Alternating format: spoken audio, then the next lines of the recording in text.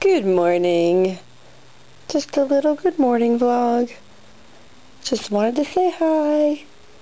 Maxwell started at his new pre-K today. And we are going to South Tube, so hopefully we'll see bunches of people there. We're excited about that. Nothing else really going on. Oh, I almost forgot. We got a bunny.